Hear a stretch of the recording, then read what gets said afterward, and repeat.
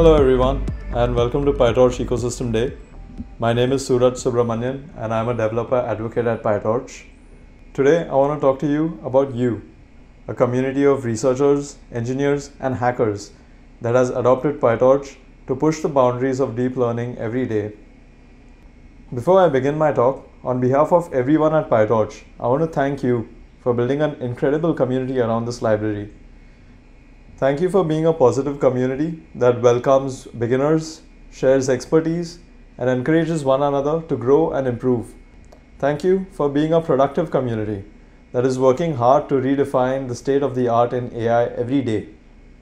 And thank you for being a creative community that, as you will see on the posters today, uses deep learning to tackle some very challenging problems in interesting and novel ways. Last year this time we were using PyTorch 1.5 and today we are at version 1.8. Across these three releases, PyTorch developers have discussed more than 6000 issues on GitHub, merged over 360 pull requests, and the number of contributors has increased to 1800 today, almost 50% up from last year. The growth of the library could not have been possible without the community's enthusiasm and love for PyTorch. In the past 12 months, the forum has welcomed 14,000 new members, bringing our total population on the forum to 40,000. PyTorch knowledge, tips and tricks, and discussions about new features were exchanged over 58,000 posts. Last year, the time for a first response to any new topic was on average 25 days. Today, that number has dropped by 88% to just around 3 days, in a real testament to how responsive and communicative the community is. Frankly, it's pretty amazing to see the community band together and actively invest in each other's success. If you ever landed at the forum with a technical doubt or a query, there's a very high chance you may have found your solution from these forum champions. All put together, last year they contributed their expertise over 15,000 posts on the forum. A huge thank you to our community heroes. The value you create is truly unique. We are tremendously grateful to you for sharing your knowledge with the tribe.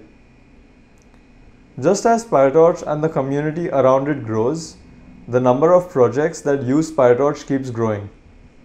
As of April, approximately 67,000 repositories and 2700 packages on GitHub are using PyTorch.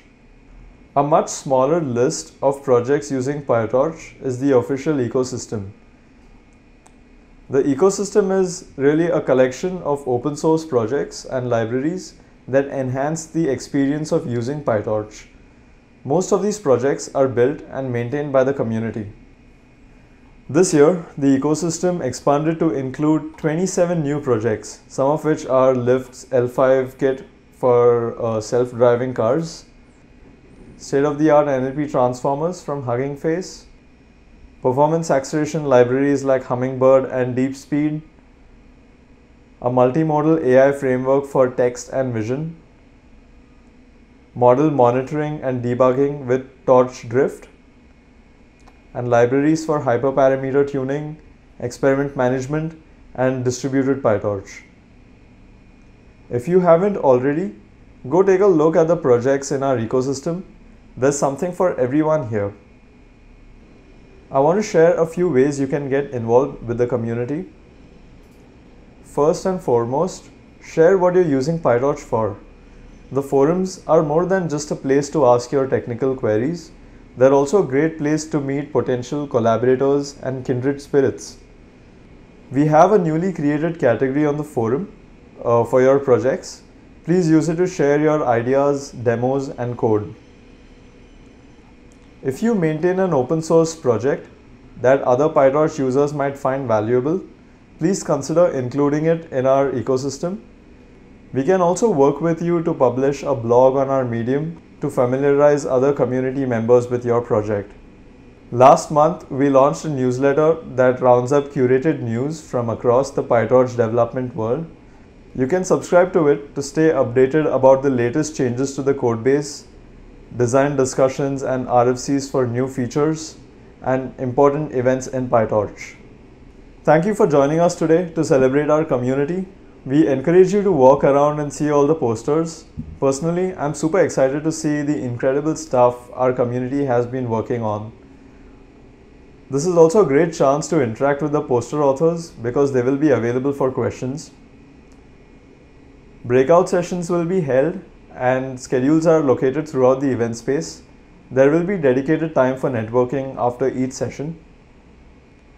We also have private spaces and the PyPorch for impromptu meetings and collaboration. Finally, feel free to get in touch with us.